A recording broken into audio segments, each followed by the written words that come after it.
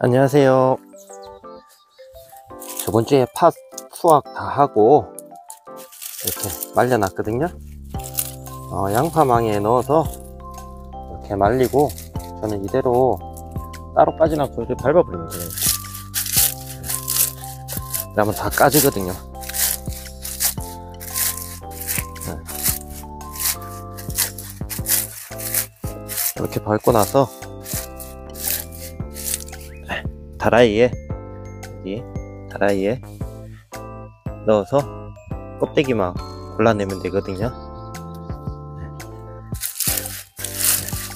그런 다음에 팥은 물에 깨끗이 씻어서 건조 한번 한 다음에 이제 보관을 할 거거든요.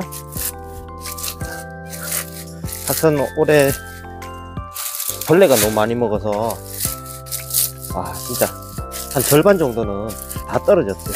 네. 그래도 이 정도 수확할 수 있어서 다행이죠. 네, 양파망으로 3망 반 정도 수확했거든요. 네.